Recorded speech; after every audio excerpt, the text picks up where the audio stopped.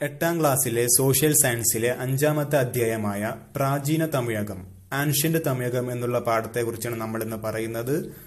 തമിഴകം എന്നതുകൊണ്ട് ഉദ്ദേശിക്കുന്നത് ഒരു ഭൂപ്രദേശത്തെയാണ്. അപ്പോൾ പ്രാചീന തമിഴകം എന്ന് പറഞ്ഞാൽ പഴയ കാലത്തുള്ള തമിഴകം എന്നുള്ള ഭൂപ്രദേശത്തെക്കുറിച്ചാണ് ഈ പാഠഭാഗത്ത് പറയുന്നത്. ഇനി ഈ പ്രാചീന തമിഴകം എന്ന് പറയുന്ന പ്രദേശത്തിന്റെ അതിർത്തി എന്ന് പറയുന്നത് ആന്ധ്രാപ്രദേശിലെ വെങ്കട് മലനിരകളിൽ നിന്ന് തുടങ്ങി തെക്കുഭാഗത്ത് ഇന്ത്യയുടെ തെക്ക് ഭാഗത്തുള്ള കന്യാകുമാരി വരെയാണ് പ്രാചീന തമിഴകം എന്ന ഭൂപ്രദേശത്തിന്റെ അതിർത്തി ഉണ്ടായിരുന്നത്. ഇനി ഈ തമിഴകം എന്നുള്ള പ്രദേശത്ത് ഉൾപ്പെടുത്തി ഉൾപ്പെട്ടിരുന്ന സ്ഥലങ്ങളായിരുന്നു കേരളം തമിഴ്നാട് കർണാടക കൂടാതെ ആന്ധ്രാപ്രദേശത്തി ആന്ധ്രാപ്രദേശിന്റെ കുറച്ചു തെക്കൻ ഭാഗങ്ങളും ഇതിൽ ഉൾപ്പെടുന്ന പ്രദേശങ്ങളായിരുന്നു. ഇനി പ്രാചീന തമിഴകത്തിലെ ശവസംസ്കാര രീതിയുമായി ബന്ധപ്പെട്ട കുറച്ച് കാര്യങ്ങളാണ് പറയുന്നത്. ആദ്യമായി എന്താണ് നന്നങ്ങാടികൾ? ഏൺ ബറിയൽസ് എന്താണ് നമുക്ക് നോക്കാം?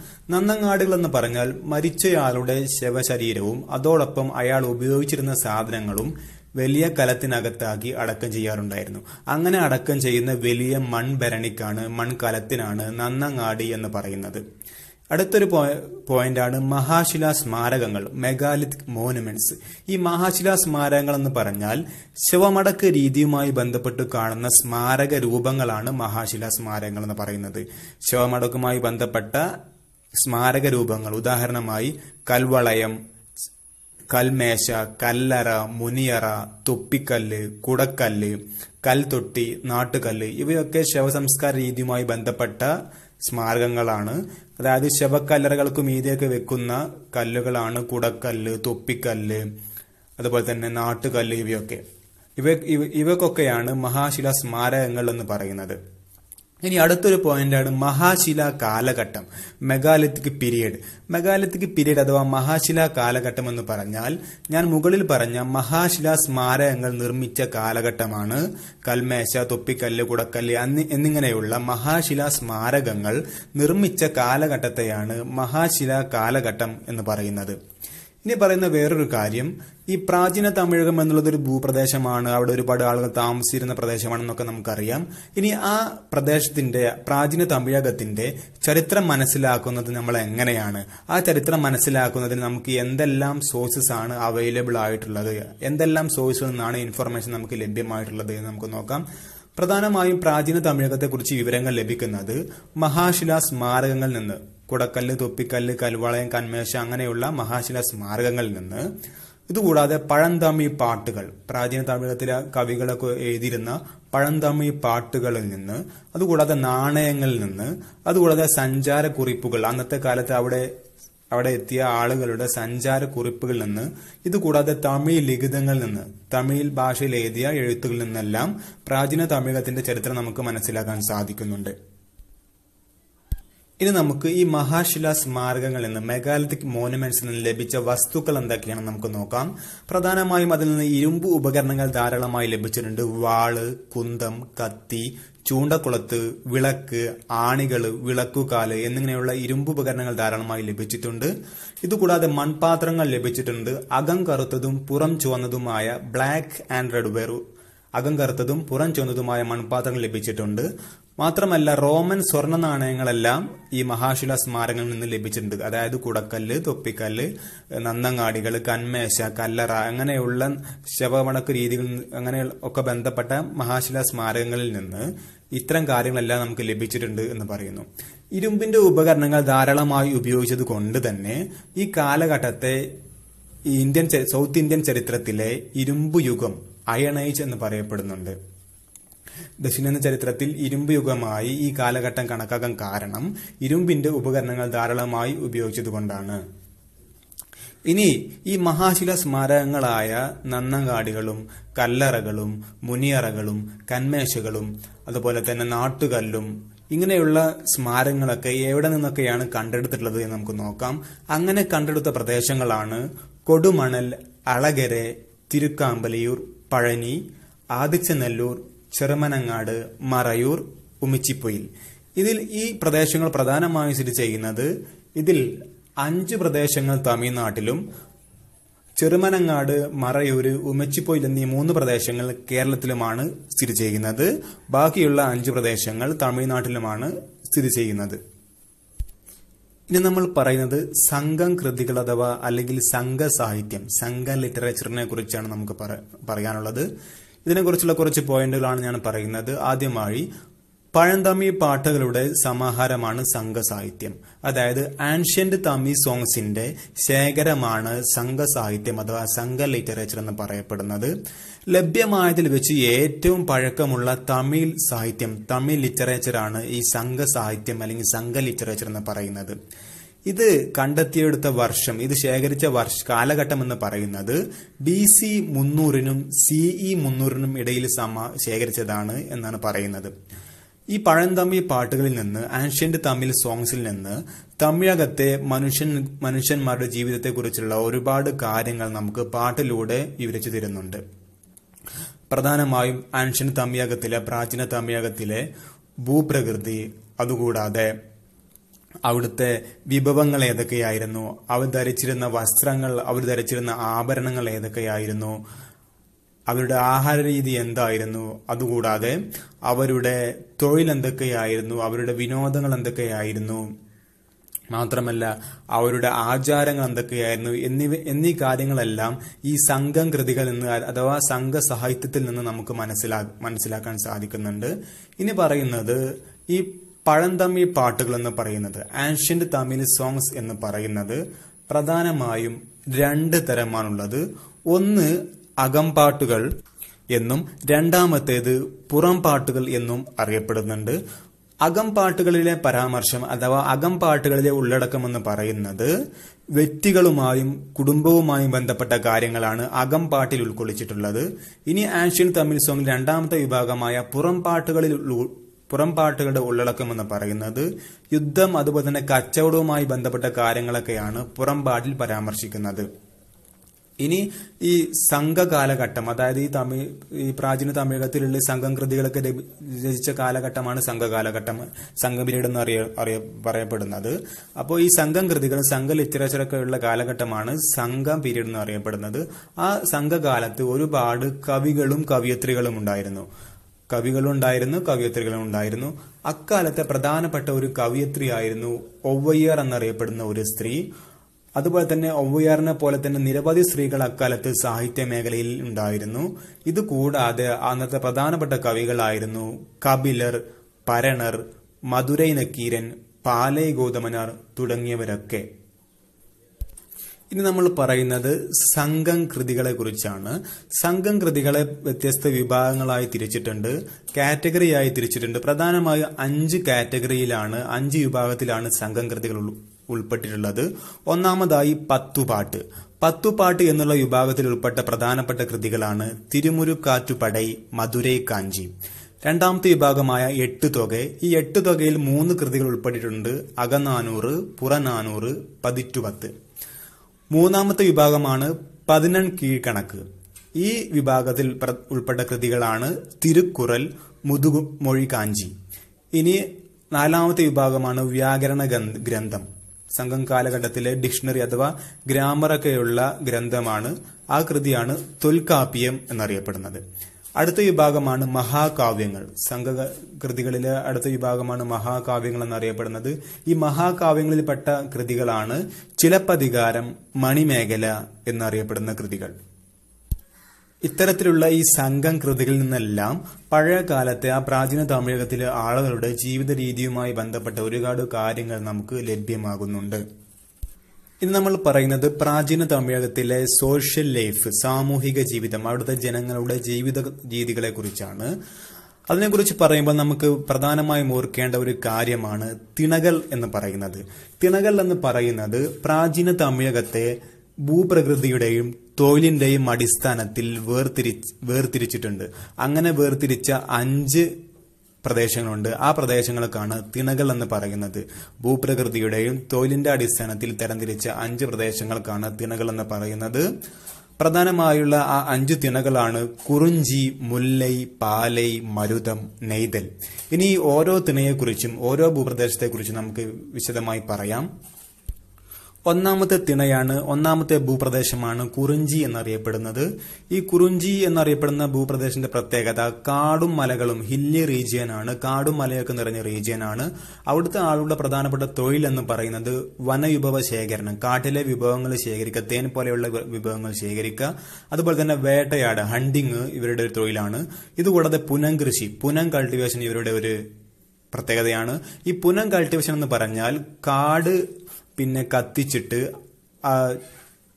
കാട്ടിലെ ചെടികളൊക്കെ കത്തിച്ചിട്ട് ആ ചെടികളുടെ വെണ്ണീറിൽ കൃഷി ചെയ്യുന്നതാണ് പുനം കൃഷി എന്നറിയപ്പെടുന്നത്. ഇങ്ങനെ വെട്ടിച്ചുട്ട കാട്ടിൽ അതായത് നല്ല കത്തിച്ചുള്ള വെണ്ണീരിന്റെ അവശിഷ്ടമൊക്കെയുള്ള മണ്ണിൽ അവർ കുരുമുളകും മറ്റു സുഗന്ധവ്യഞ്ജനങ്ങളെല്ലാം കൃഷി ചെയ്തിരുന്നു. രണ്ടാമത്തെ തിണയാണ് മുല്ല എന്നറിയപ്പെടുന്നത്. മുല്ല എന്ന് പറയുന്ന ഭൂപ്രദേശത്തും പുൽമേടുകൾ നിറഞ്ഞതാണ്. അതുകൊണ്ട് തന്നെ അവിടെയുള്ള പ്രധാനപ്പെട്ട തൊഴിൽ പുൽമേടുകളായതുകൊണ്ട് പുല്ല് തിന്നാൻ വേണ്ടിയുള്ള കന്നുകാലികളെയാണ് അവിടെ വളർത്തിയിരുന്നത്. ഈ പാല അടുത്ത തിണയാണ് പാല എന്ന് പറയുന്നത്. പാല എന്ന പ്രദേശത്തിന്റെ പ്രത്യേകത അത് വരണ്ട പ്രദേശമാണ്. വരണ്ട പ്രദേശമായ പാലയിലെ പ്രധാനപ്പെട്ട തൊഴിലെന്ന് പറഞ്ഞാൽ ഈ പാലയിൽ വരണ്ട പ്രദേശമായതുകൊണ്ട് തന്നെ അവിടെ കൃഷിയൊന്നും നല്ല രീതിയിൽ ഉണ്ടാവില്ല. അതുകൊണ്ട് തന്നെ അവിടെ താമസിക്കുന്ന ആളുകൾക്ക് ഭക്ഷണത്തിനൊന്നും ഭക്ഷണത്തിനും പണത്തിനൊക്കെ ഒരുപാട് പ്രയാസമാണ്. അപ്പൊ അവരെന്ത് ചെയ്യും അവർ കവർച്ച നടത്തും. അതായത് മുല്ലയിൽ പോയിട്ട് മുല്ലയിൽ വളർത്തുന്ന കന്നുകാലികളെ കവർച്ച ചെയ്യലാണ് പാലയിലെ ജനങ്ങളുടെ ജോലി. അങ്ങനെ പാലയിലെ ജനങ്ങൾ മുല്ലയിലെ പുൽമേടുകളിൽ പോയിട്ട് ഗ്രാസ് ലാൻഡ്സിൽ പോയിട്ട് കന്നുകാലികളെ കവർച്ച ചെയ്യുന്ന സമ്പ്രദായത്തിന് പറയുന്ന പേരാണ് വെടിച്ചി എന്ന് പറ അറിയുന്നത് പറയുന്നത്. അടുത്ത തിണയാണ് മരുതം എന്ന് പറയുന്ന തിണ. ഈ മരുതം എന്ന് പറയുന്ന തിണ തിണയുടെ ഭൂപ്രകൃതി അവിടെയുള്ള ഭൂപ്രദേശം എന്ന് പറയുന്നത് വയലേലകളാണ്. വയലേലകളുള്ള വയലുകളുള്ള ഭൂപ്രദേശത്തിനാണ് മരുതം എന്ന് പറയുന്നത്. അവിടെ കൃഷി ചെയ്യുന്ന പ്രധാനപ്പെട്ട കൃഷിയാണ് നെല്ല് കരിമ്പ് കൃഷി. ഇവയൊക്കെയാണ് മരുതം എന്ന് പറയുന്ന വയലേലകളിൽ കൃഷി ചെയ്യുന്നത്. ഇനി അടുത്ത ഒരു തിണയാണ് അവസാനത്തെ തിണയാണ് അഞ്ചാമത്തെ തിണയാണ് നെയ്തൽ എന്ന് പറയുന്നത്. നെയ്തൽ എന്ന് പറയുന്നത് തീരപ്രദേശമാണ്. ആ തീരപ്രദേശത്തെ ആളുകളുടെ പ്രധാനപ്പെട്ട തൊഴിൽ എന്ന് പറയുന്നത് കോസ്റ്റൽ റീജിയൻ ആയതുകൊണ്ട് തന്നെ അവിടെയുള്ള പ്രധാനപ്പെട്ട തൊഴിൽ എന്ന് പറയുന്നത് ഉപ്പ് നിർമ്മാണം അതുപോലെ തന്നെ മീൻപിടുത്തമൊക്കെയാണ്. ഉപ്പ് നിർമ്മാണവും മീൻപിടുത്തമാണ് അവിടുത്തെ പ്രധാനപ്പെട്ട തൊഴിലെന്ന് പറയുന്നത്. അപ്പൊ നമുക്ക് ഇത് ഓർക്കാൻ വേണ്ടി ഈ നെയ്തൽ എന്ന് പറയുന്നത് തീരപ്രദേശമാണ് ഓർക്കാൻ വേണ്ടി നെയ്മീൻ എന്ന് ഓർത്താൽ മതി. അപ്പോൾ നെയ്മീൻ എന്ന് പറഞ്ഞാൽ നെയ്തൽ തീരപ്രദേശമാണ്. അവിടെ മീൻപിടുത്തമാണ് തൊഴിൽ ഉപ്പ് നിർമ്മിക്കാറുണ്ട്. ഇനി മരുതം എന്ന് പറയുന്നത് വയലാണെന്ന് ഓർക്കാൻ വേണ്ടി ഒരു മാരുതി കാർ വയലി വയലിലേക്ക് വീണു എന്ന് ഓർത്ത് കഴിഞ്ഞാൽ നമുക്ക് മരുതം എന്ന് പറഞ്ഞാൽ വയൽ പ്രദേശമാണെന്ന് കിട്ടും. മാത്രമല്ല വയലിലുള്ള കൃഷി നെല്ല് കരിമ്പ് കൃഷിയാണെന്ന് കിട്ടും. ഈ തിണങ്ങളിലുമായി ബന്ധപ്പെട്ട മറ്റു രണ്ട് കാര്യങ്ങളാണ് പിന്നെ അക്കാലത്തെ കർഷകർ ഇരുമ്പ് കൊണ്ടുള്ള കൊഴുനാക്ക് പ്ലഫ് ഷെയർ ഉപയോഗിച്ചുള്ള കലപ്പ് ഉപയോഗിച്ചിരുന്നു. അതായത് കലപ്പയുടെ അറ്റത്ത് ഇരുമ്പ് കൊണ്ടുള്ള കൂർത്ത മുന വെച്ചിട്ടുള്ള കൊഴുനാക്ക് വെച്ചിട്ടുള്ള കലപ്പ് ഉപയോഗിച്ചിരുന്ന ഉപയോഗിച്ചിരുന്നതിന് തെളിവുകൾ ലഭിച്ചിട്ടുണ്ട്. മാത്രമല്ല ഈ അവർ ഈ നെയ്തൽ എന്ന് പറയുന്ന തീരപ്രദേശത്തെ ആളുകൾ പിന്നെ ഉപ്പ് നിർമ്മിക്കലായിരുന്നു അവരുടെ പണി. അപ്പോൾ ഉപ്പ് നിർമ്മിക്കാൻ വേണ്ടി ഉപ്പളങ്ങളിൽ ഉപ്പളം എന്നറിയപ്പെടുന്ന ഉപ്പിന്റെ പാടങ്ങളുണ്ട്. അതിലെ ആ ഉപ്പിന്റെ പാടങ്ങളിലേക്ക് കടൽവെള്ളം കയറ്റിയിട്ടാണ് പടന്ന എന്ന് അതിന് പറയാറുണ്ട്.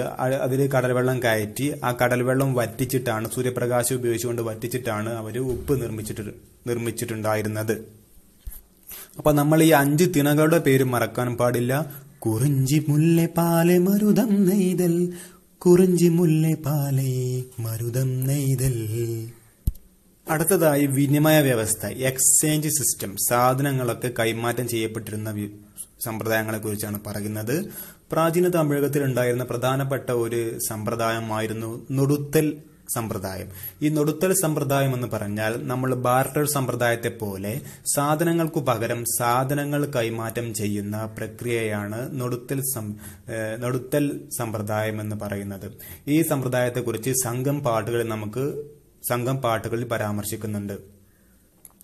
ഇനി ഈ പ്രാചീന തമിഴകത്തുണ്ടായിരുന്ന അങ്ങാടികളായിരുന്നു മാർക്കറ്റുകളായിരുന്നു അല്ലല്ലാവണം നാളങ്ങാടി എന്നറിയപ്പെടുന്ന രണ്ടെണ്ണം. ഈ അല്ലല്ലാവണം എന്ന് പറഞ്ഞാൽ അന്തിച്ചന്ത ഈവനിങ് മാർക്കറ്റ് വൈകുന്നേരങ്ങളിൽ കൂടുന്ന ചന്തയും നാളങ്ങാടി എന്ന് പറഞ്ഞാൽ മോർണിംഗ് മാർക്കറ്റ് രാവിലെ നടത്തുന്ന ചന്തയുമാണ് നാളങ്ങാടിയും നാളങ്ങാടി എന്ന് പറയുന്നത്.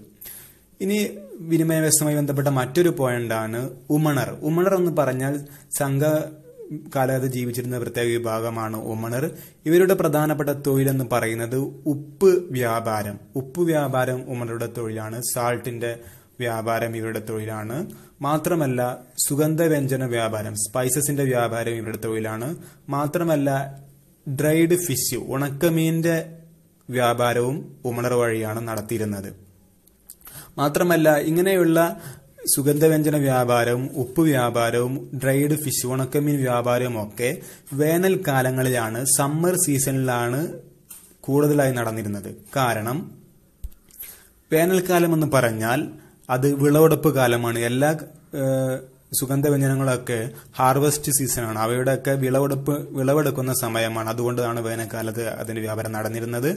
വേറൊരു കാര്യം ഉപ്പുണ്ടാക്കാനും ഉണക്കമീൻ ഉണങ്ങാനും ഉപ്പ് പിന്നെ സൂര്യപ്രകാശം ഉപയോഗിച്ച് ഉപ്പായി വെള്ളം ഉപ്പായി മാറാനും അതുപോലെ പച്ചമീൻ ഉണക്കിയിട്ട് അത് ഉണക്കമീനായി മാറാനും എന്താവശ്യമാണ് സൂര്യപ്രകാശം ആവശ്യമാണ്. അപ്പൊ അത് വേനൽക്കാലങ്ങളിലാണ് സൂര്യപ്രകാശം കൂടുതൽ ലഭ്യമാകുന്നത് കൊണ്ട് വേനൽക്കാലങ്ങളിലാണ് ഈ ഉപ്പ് വ്യാപാരവും ഉണക്കമീൻ വ്യാപാരവും റെയ്ഡ് ഫിഷ് വ്യാപാരവും അതുപോലെയുള്ള സുഗന്ധവ്യഞ്ജന വ്യാപാരവും ഒക്കെ കൂടുതൽ ശക്തമായി നിലനിന്നിരുന്നത് നമുക്ക് മനസ്സിലാക്കാം.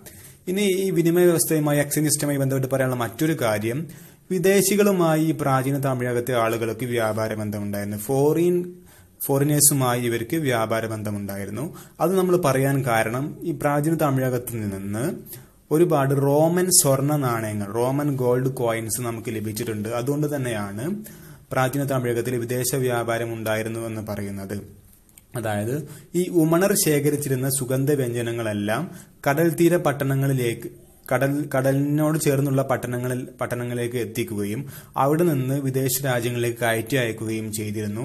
അങ്ങനെയാണ് റോമൻ നാണയങ്ങളൊക്കെ ഇവിടേക്ക് എത്താൻ കാരണം. റോമക്കാർ പ്രധാനമായും പ്രാചീന തമിഴകത്ത് നിന്ന് കൊണ്ടുപോയിരുന്ന വിഭവങ്ങൾ എന്ന് പറയുന്നത് പിന്നെ കുരുമുളകും പെപ്പറും അതുപോലെ തന്നെ സുഗന്ധ വ്യഞ്ജനവും സ്പൈസസ് ഒക്കെ ആയിരുന്നു അവർ ഇവിടുന്ന് കൊണ്ടുപോയിരുന്ന പ്രധാനപ്പെട്ട വിഭവങ്ങൾ.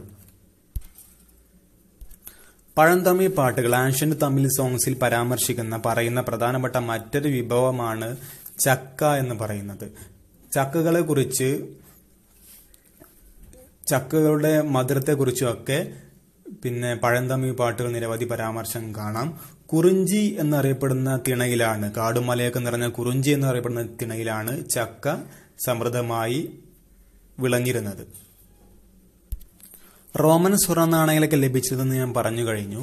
അപ്പോൾ അതുമായി ബന്ധപ്പെട്ട് നമ്മുടെ എറണാകുളം ജില്ലയിലെ പറവൂരിനടുത്തുള്ള പട്ടണം എന്ന സ്ഥലത്ത് ഒരുപാട് ഉത്ഖനനങ്ങൾ ഒരുപാട് മണ്ണ് കുഴിച്ചെടുത്തിട്ടുള്ള ഒരുപാട് അന്വേഷണങ്ങൾ നടക്കുന്നുണ്ട്.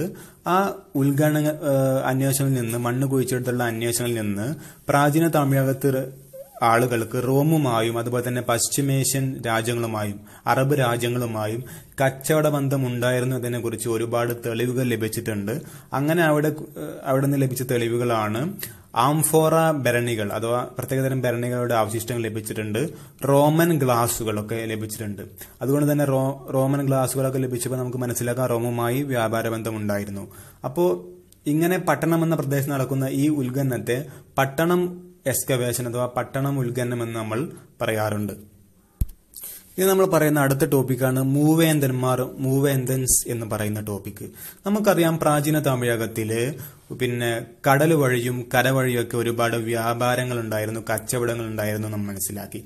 ഈ കച്ചവടങ്ങളൊക്കെ ആരാണ് നിയന്ത്രിച്ചിരുന്നത്? ഈ കച്ചവടങ്ങൾ നിയന്ത്രിച്ചിരുന്ന പ്രധാനപ്പെട്ട മൂന്ന് വിഭാഗങ്ങളായിരുന്നു അല്ലെങ്കിൽ പ്രധാനപ്പെട്ട മൂന്ന് അധികാര കേന്ദ്രങ്ങളായിരുന്നു. പ്രധാനപ്പെട്ട മൂന്ന് പവർ സെന്റേഴ്സ് ആയിരുന്നു മൂവേന്തന്മാർ എന്നറിയപ്പെടുന്നത് മൂവേന്തന്മാർ മൂന്ന് വിഭാഗങ്ങളാണ്. ഒന്ന് ചേരർ രണ്ട് പാണ്ഡ്യർ മൂന്ന് ചോളർ. ഈ ചേരർ എന്ന് പറയപ്പെടുന്ന വിഭാഗത്തിന്റെ ക്യാപിറ്റൽ എന്ന് പറയുന്ന തലസ്ഥാനം എന്ന് പറയുന്നത് മുച്ചിരി എന്നുള്ള പ്രദേശമാണ്. പാണ്ഡ്യന്മാരുടേത് മധുര എന്ന് പറയുന്ന പ്രദേശമാണ്. ചോളന്മാരുടേത് ഉറയൂർ എന്ന് പറയുന്ന പ്രദേശമാണ്. ഇവരാണ് ഇവിടുത്തെ കാര്യങ്ങളെല്ലാം ഈ കച്ചവടവുമായി ബന്ധപ്പെട്ടും മറ്റുമുള്ള കാര്യങ്ങളൊക്കെ നിയന്ത്രിച്ചിരുന്നത്. അതുകൊണ്ട് തന്നെ ഇവരെ മൂവേന്തന്മാർ എന്ന് വിളിച്ചിരുന്നു. മാത്രമല്ല ഇവരുടെ കാലത്തൊക്കെ അക്കാലത്തുണ്ടായിരുന്ന പ്രധാനപ്പെട്ട തുറമുഖ പട്ടണങ്ങളായിരുന്നു നദീതീര പട്ടണങ്ങളായിരുന്നു അതായത് കടൽ തീരത്തോട് ചേർന്നുണ്ടായിരുന്ന പിന്നെ പോർട്ട് സിറ്റീസ് തുറമുഖ പട്ടണങ്ങളായിരുന്നു. മുച്ചിരി തൊണ്ടി വാഗൈ മാന്തൈ കാവേരിപട്ടണം തുടങ്ങിയവയെല്ലാം. അപ്പോൾ ഈ മൂവേന്ദ്രന്മാർ എന്ന് പറയുന്നത് ഇന്ത്യയുടെ തെക്ക് ഭാഗത്ത് ഇന്ത്യയുടെ തെക്ക് ഭാഗത്ത് ദക്ഷിണേന്ത്യയിലാണ് ഈ പ്രാചീന തമിഴകം എന്ന് പറയുന്നത്. അപ്പോൾ പാഠപുസ്തകത്തിൽ ഒരു മാപ്പിൽ അവരുടെ സ്ഥലങ്ങൾ കൊടുത്തിട്ടുണ്ട്. മുച്ചിരി മധുരൈ ഉറയൂരു കാവേരിപട്ടണം എന്നീ സ്ഥലങ്ങളൊക്കെ ദക്ഷിണേന്ത്യയിൽ തമിഴ്നാടിന്റെയും കേരളത്തിന്റെയും ഭാഗങ്ങൾ അടയാളപ്പെടുത്തിയ ചിത്രം ടെക്സ്റ്റ് ബുക്കിൽ നമുക്ക് നോക്കിയാൽ കാണാൻ സാധിക്കുന്നുണ്ട്. ഇപ്പൊ ഞാൻ പറഞ്ഞു കഴിഞ്ഞു പഴന്തമിഴ് പാട്ടുകൾ ആൻഷ്യന്റ് തമിഴ് സോങ്സിൽ നിന്ന് അവരുടെ ജീവിത രീതിയുമായി ബന്ധപ്പെട്ട ഒരുപാട് കാര്യങ്ങൾ നമുക്ക് ലഭ്യമാകുന്നു എന്ന് പറഞ്ഞു. ഇനി കുറച്ച് തമിഴ് പാട്ടുകളാണ് സ്ക്രീനിൽ കാണുന്നത്. ഒന്നാമതായി ഉപ്പളങ്ങളിൽ വിളഞ്ഞ ഉപ്പുപരലുകൾ ഉച്ചത്തിൽ വില പറഞ്ഞു കൊണ്ടുപോകും കച്ചവടക്കാർ വണ്ടിക്കാളകളെ നുകമഴിച്ച് മേയാൻ വിട്ട് കല്ലെടുപ്പ് കൂട്ടി പാകം ചെയ്യും ആഹാരം. ഈ തമിഴ് പാട്ടിൽ നിന്ന് നമുക്ക് മനസ്സിലാകുന്ന കാര്യമാണ് ഉപ്പളങ്ങൾ അഥവാ ഉപ്പ് കുറുക്കുന്ന പാടങ്ങളിൽ നിന്ന് ഉപ്പിന്റെ ചാക്കുകൾ ഉപ്പ് വാങ്ങാൻ വേണ്ടി കച്ചവടക്കാർ വന്നിരുന്നുവെന്നും അവർ വില പറഞ്ഞ് കച്ചവടം ചെയ്തിട്ട് ഉപ്പ് വാങ്ങിക്കൊണ്ടുപോയിരുന്നെന്നും മാത്രമല്ല അവരുടെ വണ്ടി കാളകളെ കാളവണ്ടിയിലെ കാളകളെ അവർ നുകമഴിച്ച് കാളവണ്ടികളുടെ ദേഹത്ത് നിന്ന് നുകമഴിച്ച് വിട്ടുകൊണ്ട് അവിടെ മേയാൻ വിടുകയും അവർ അവിടെ അടുപ്പ് കൂട്ടി ഭക്ഷണം പാകം ചെയ്തിരുന്നു എന്ന് നമുക്ക് ഈ പാട്ടിൽ നിന്ന് മനസ്സിലാക്കാം. അടുത്തൊരു പാട്ടാണ് കലം ചെയ്കോവേ കലം ചെയ്കോവേ. അച്ചുടയിച്ച കാട്ടാരം പൊരുന്തിയ ചുറ്റുവേൺ പല്ലി പോലെ തെന്നൊടു. ചുരം പലവന്തമൈ കുമരുളി വിയൻ മലരകൻ പൊലിമ പൊഴിലിമത്താഴി. അകലിത കവനയുമോ നനന്തലെ മുരൂർ കലഞ്ചൈ കോവേ പുറനാനൂറ് എന്നറിയപ്പെടുന്ന സംഘംകൃതിയിലെ വരികളാണ് കൊടുത്തിട്ടുള്ളത്. ഇതിന്റെ വിശദീകരണം എന്ന് പറഞ്ഞാൽ ഇതിന്റെ അർത്ഥം എന്ന് പറയുന്നത് കലമുണ്ടാക്കുന്നവരെ വണ്ടിച്ചക്രത്തിൽ കയറിയിരിക്കുന്ന പല്ലി അതോടൊപ്പം കറങ്ങി കറങ്ങി വളരെ ദൂരെ ചെല്ലുന്നത് പോലെ ജീവിതത്തിന്റെ സുഖദുഃഖങ്ങളിലെല്ലാം അദ്ദേഹത്തോടൊന്നിച്ചു പങ്കുകൊണ്ടവളാണ് ഞാൻ. അദ്ദേഹം ഇതാ മരിച്ചു കഴിഞ്ഞു. അദ്ദേഹത്തെ അടക്കം ചെയ്യുന്നതിന് വേണ്ടി ഉണ്ടാക്കുന്ന ഈ കലം എന്നെ കൂടി ഉൾക്കൊള്ളാനുള്ള വലിപ്പം ഉള്ളതായിരിക്കട്ടെ എന്നാണ് പറയുന്നത്. അതായത് ഒരു ഭാര്യ തന്റെ ഭർത്താവ് മരിച്ചപ്പോൾ പാടുന്ന ഒരു പാട്ടാണ്. കലമുണ്ടാക്കുന്നവരെ അതായത് മരിച്ചു കഴിഞ്ഞാൽ ആ ശവം ഇടാൻ വേണ്ടി വലിയ നന്നങ്ങാടി കലമുണ്ടാക്കുന്ന ആളുകളെ നന്നങ്ങാടി ഉണ്ടാക്കുന്ന ആളുകളെ. വണ്ടിച്ചക്രത്തിൽ കയറിയിരുന്ന പല്ലി അതോടൊപ്പം കറങ്ങി കറങ്ങി വണ്ടിച്ചക്രത്തിൽ പല്ലി ഉണ്ടെങ്കിൽ ആ പല്ലി വണ്ടിച്ചക്രത്തോടൊപ്പം കറങ്ങുന്ന പോലെ തന്നെ ഈ ഭർത്താവിന്റെ കൂടെ ജീവിതത്തിൽ എല്ലാ സമയങ്ങളിലും ഞാൻ ഉണ്ടായിരുന്നു സങ്കടങ്ങളിലും സന്തോഷങ്ങളിലൊക്കെ ഉണ്ടായിരുന്നു. അതുകൊണ്ട് തന്നെ അദ്ദേഹം ഇപ്പോൾ മരിച്ചു കഴിഞ്ഞിട്ടുണ്ട്. അതുകൊണ്ട് അദ്ദേഹത്തെ മരിച്ചു കഴിഞ്ഞ് അടക്കം ചെയ്യാൻ വേണ്ടി നിർമ്മിക്കുന്ന കുടത്തിൽ എന്നെ കൂടി അടക്കം ചെയ്യണം. ആ കുടം അത്രയും വലിപ്പമുള്ളതായി ഉണ്ടാ ഉണ്ടാക്കണമെന്നാണ് ഈ കവി ഈ കവി ഈ കവിതയിൽ പറയുന്നത്. ഇനി മൂന്നാമതായി കാണുന്ന ഒരു പാട്ടാണ് ഔവയ്യർ എന്നറിയപ്പെടുന്ന കവിയത്രി സ്ത്രീയാണ് ഇത് എഴുതിയിട്ടുള്ളത്. ഈ കവിത എന്ന് പറയുന്നത് നാടാ കൊണ്ട്രോ കാടാ കൊണ്ട്രോ അവല കൊണ്ട്രോ മിജയ കൊണ്ട്രോ എംവഴി നല്ലവരാടവർ ഔവഴി നല്ലൈ വാഴിയ നിലനെ. അല്ലയോ ഭൂമി ഒന്നുകിൽ നാടു തന്നെയാവുക അല്ലെങ്കിൽ കാട് തന്നെയാവുക ഒന്നുകിൽ കുഴിയാവുക അല്ലെങ്കിൽ കുന്നാവുക. എങ്ങനെയായാലും എവിടെ നല്ലവർ വസിക്കുന്നു അവിടെ നീയും നല്ലതാണ്. നിനക്കായിട്ട് മാത്രം ഒരു നന്മയുമില്ല. അപ്പൊ ഈ എന്ന് പറയുന്ന കവിയത്തിൽ പറയാണ് ഭൂമി എങ്ങനെയായാലും പ്രശ്നമില്ല. ആ ഭൂമിയിൽ താമസിക്കുന്ന ആളുകൾ നന്നായാൽ മാത്രമേ കാര്യമുള്ളൂ എന്നാണ് അവയർ എന്നറിയപ്പെടുന്ന ഈ സ്ത്രീ കവിയത്രി ഈ കവിയത്രി പറയുന്നത്. ഇനി അടുത്ത ഒരു പഴന്തമിഴ് പാട്ടാണ്. അടുത്ത പൊരു നാരാറ്റു നാരാറ്റുപടേ എന്ന് പറയുന്ന സംഘകൃതിയിലെ ഒരു വരികളാണ് കൊടുത്തിട്ടുള്ളത്. തേൻ നെല്ലോടു കിഴങ്കുമാറിയോർ മീൻ നെല്ലോടു തറവുമറുകവും. ഇതിന്റെ അർത്ഥമെന്ന് പറയുന്നത് തേൻ നെല്ലോടു കിഴങ്കുമാറിയോർ തേനും പിന്നെ നെയ്യും കിഴങ്ങുമൊക്കെ കൈമാറ്റം ചെയ്ത ആളുകൾ അതിന് പകരമായിട്ട് മീൻ നെല്ലോടു തറവുമറുകവും അതിന് പകരം മീനും നെല്ലും മറ്റും വാങ്ങിപ്പോകുന്നു. ഇതാണ് ഈ വരികൾ കൊണ്ട് ഉദ്ദേശിക്കുന്നത്. അപ്പൊ ഇത്രയും കാര്യങ്ങളാണ് ഈ പ്രാചീന തമിഴകം എന്നുള്ള ആൻഷ്യൻ തമിഴകം എന്നുള്ള പാഠഭാഗത്ത് പറയാനുള്ളത്. പ്രധാനമായി മഹാശില സ്മാരകങ്ങൾ എന്താണ് സംഘം കൃതികൾ എന്താണ് അവിടുത്തെ സാമൂഹ്യ ജീവിതത്തിൽ തിണകളൊക്കെ എന്താണ് എന്താണ് അതിനെക്കുറിച്ച് അതുപോലെ തന്നെ വിനിമയ വ്യവസ്ഥ എന്താണ് അവിടുത്തെ അങ്ങാടികൾ ഏതൊക്കെയാണ്? എന്തൊക്കെയാണ് വ്യാപാരം നടത്തിയിരുന്നത്? ഈ വ്യാപാരം കൺട്രോൾ ചെയ്തിരുന്ന മൂവേന്ദ്രന്മാർ ആരായിരുന്നു? ഇങ്ങനെയുള്ള കാര്യങ്ങളൊക്കെയാണ് ഈ പാഠഭാഗത്ത് പറയുന്നത്. എട്ടാം ക്ലാസ്സിലെ സോഷ്യൽ സയൻസിലെ അഞ്ചാമത്തെ അധ്യായമായ പ്രാചീന തമിഴകം.